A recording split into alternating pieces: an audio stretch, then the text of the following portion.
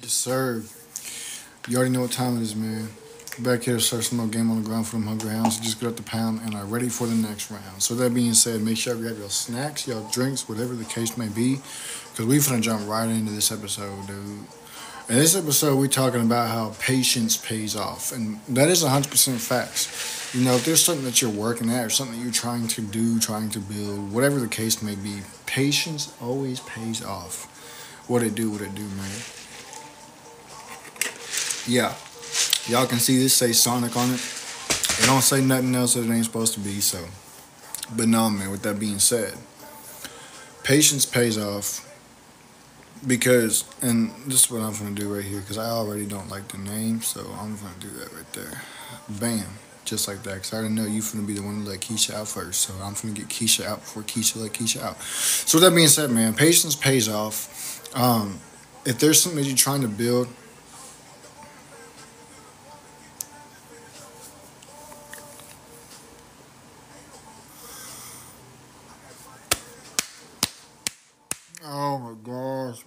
can't make it up. You can't make it up. And I guarantee you, he doesn't know a damn thing about it. Any of the props that he took. Uh, you can't make it up, bro. You can't make it up. I guarantee you, he don't know a single thing about the props that he took either. Nothing. But with that being said, we're not here to talk about that. We're here to talk about how when you have patience, uh, yeah, that's what I'm gonna do right here. Since you wanna, uh, yeah, you wanna talk at a turn. Guess what? Boom, just like that. That's what we do. But um, everybody that you see that owns a business, everybody that you see that has reached the higher levels in society as far as status wise they have built something that has got them to that point. Now, it doesn't matter what it is. It could be a business, it could be a company, it could be you know like a, a Walmart type store, it could be a um, uh, appliance type store, whatever the case may be. Anything that could help them get to the next level, they've built up, right? But they didn't build it up in, in a, a month or a year. It took them a long time to build it up. It took them a long time. Elon Musk had to have a lot of patience to build Tesla. Uh, and this is what I'm gonna do because yeah, no, it's not. I didn't. Nah, nah, nah, nah, nah, nah. Elon Musk. It took him a long time to build Tesla. Mark Zuckerberg took him a long time to build Meta, what you know as Facebook and Instagram. Uh, it took everybody that owns a major part of everybody's life a long time to build. and they had patience through it all because I guarantee you that if they didn't, they would have given up a long time ago and they wouldn't be where they're at right now. That's 100% facts. So, whenever it is that you're trying to do, you got to have patience and whatever it is you're trying to do. And this is what I'm going to do right here. Boom. Yeah, yeah, no, I'm going to go ahead and do that right there. Yeah, okay, this is what I'm going to do right here. Since you want to play games, bet. You're gone hit that extra button so you can never come back up in here again. How about that? But um it's gonna take you a long time to get to where you're trying to get to. And everybody nowadays wants it now. I want it now, now, now, now, now, now. Give it to me now. They gotta have it within a week. They gotta have it within a month. They gotta have it everywhere. They gotta have it anytime they want, right? And this is what I'm gonna do right here. Boom. Just like that since y'all want to continue letting Keisha out, we to, and you gonna you gonna make it to where y'all can't even say nothing. You want me to take your your speaking privileges away, huh? You want me to make y'all sit down and be quiet, go stand in the corner? Patience is key. It's 100% facts. I will make every single one of y'all go stand in the corner if you, if you want to keep playing around. Keep keep playing. You ain't gonna be able to talk. Keep playing. Keep playing. That's what I'm going to do right there. Because nobody asked. Anyways, yeah, that's what I thought. Everybody wants what they want now. Everybody wants to get where they're trying to get to now. Everybody wants it now. They don't. Yeah, I know it's crazy, but uh, they don't want to go down the journey. They don't want to walk down the road. They don't want to put in the hard work. They don't want to work for success. They don't want none. They don't want to do none of that. They just want it in their laps and they want it now. When in reality, that's not going to happen that way. What's going to happen is you are going to work and you are going to work and you are going to work and you are going to work and you are going to work and work and work and work and work and work and continue working and continue working until you finally get to where you're trying to get to. He said, I'm the CEO of an electrical contract company. I started in 2008. Yes, what I'm saying, man, sometimes it might take you five years, sometimes it might take you seven years, 10 years, could even take you 20, 30 years to get to where you're trying to get to. It's not quite as much about getting to your destination. Obviously, you want to get to your destination. But it's what you learn along the way on the journey to your destination that matters a lot because what you learn will help shape you as a human being once you get to where you're trying to get to. If you don't learn anything along the journey, then there was no point in you even going down that road. Every road that everybody goes down, they go down it for a reason. It has a lesson, lessons that it teaches everybody and you have to pay attention you have to learn you have to listen you have to make sure that whatever mistakes that you make you learn from those mistakes that way you never make them again whenever you come across that crossroad you're like hey now i remember what happened last time and that's what i'm to do right here i remember what happened last time so i ain't to do that same thing again you know that way you can get around that way you can be as proficient and successful as you possibly can be once you get to where you're going to that way you can continue going.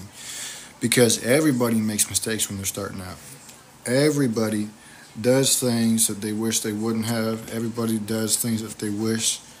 Everybody didn't do things that they wish they would have. And so you learn from those things. That way, once you get there, you can be a better human being. You can be better at what it is that you're doing. That way, you can maintain it. Everything that you learn along the way is important for you to know when you get to your destination. That's 100% facts. If you try to rush it and skip over certain things, guess what? You're going to miss out on certain things, on key uh, lessons, key objectives. And guess what? Yeah, yeah, your destination is right here. Yeah, that's where your destination is.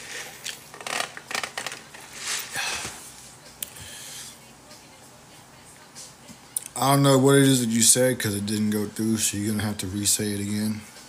But if you're skipping out on lessons, you're gonna skip out on certain things you need to learn. And what you might learn now, you might not need right now. This is what I'm gonna do right here. Boom. Yeah. Yeah, yeah, no. You can't make it up, bro. People you can't make it up. That's what I'm gonna do. Cause you're talking about all the wrong things, bro. All the wrong things. See, y'all ain't even focused on your destination. You focused on another man. This is what I'm saying, bro. This is what I'm saying. Y'all be focused on another man instead of your own destination. You can't make it up. You can't make it up. But anyways, what you might learn now on your journey, you might not need now. But later on, you're gonna need. You know, it's just like school in a way. It's just like school in a way. You learn how to read, even though you don't necessarily need to know how to read at that young of an age. You learn it then so you can use it later. Same thing with math. You don't necessarily need to use math at a young age, but you learn it early, early, excuse me, so you can use it later. That's how these journeys are whenever you're trying to get to where you're trying to get to. He is jealous of all our potential because God done with him. That's 100% facts. I don't know who you're talking about, but I don't know if you had another comment before that, but it's like picking and choosing what it sends through. You know how it be sometimes. But, um, no, man. Oh, Lucy. Oh, yeah, no, that's 100% facts. Yeah, he had, he, he, he was he was predestined for uh, eternal life, and he thought that, that wasn't good enough. So he decided to go throw her down the drain. I tell you what, boy, if I was predestined for eternal life, I wouldn't. I don't think I would do that. I don't think that I would do that. That wants to go overthink about a past time. I don't think that I would do that. that wants to go overthink about our past time to the devil wants us to go overthink our past time so that we forget about the present. And that's 100% facts. And see, look, uh, I don't remember exactly the way he said it. Some I heard somebody say it earlier that looking back on your past is actually a sin. But it's not like lust, or it's not like a pride, or it's not like thief, like like like thievery. I'm gonna do this right here because you you asking out of turn, talking out of turn, you gotta go. But it's a sin as far as taking your eyes off of God, right? Because God is not behind you, God is in front of you. Jesus Christ is in front of you, not behind you. And so when you stop moving towards Him, you turn around and look behind you, now you stuck. He say keep your eyes on Him, right? Same thing he told Peter when Peter got up out that boat on the water. He said, just keep your eyes on me. Look at me. Look straight. But Peter looked to the left, looked to the right, looked behind him, looked behind him to the boat where he came from. And guess what happened? He fell. That's why you don't supposed to stay looking behind you. Now, I think it's I don't know. He said those Insta pages be trying to make you sad about what used to be to stop you from what is. That's 100% facts. But see, the thing is, you can. Life is beautiful when Jesus is there, and that's 100% facts. The thing is, you can choose to make it make you sad, or you can choose to just smile and be like, yeah, I remember those times, and then go forward. You know? And that's what I'm going to do right here. Oh, yeah, I'm so glad I caught that account. I'm so glad I caught that account.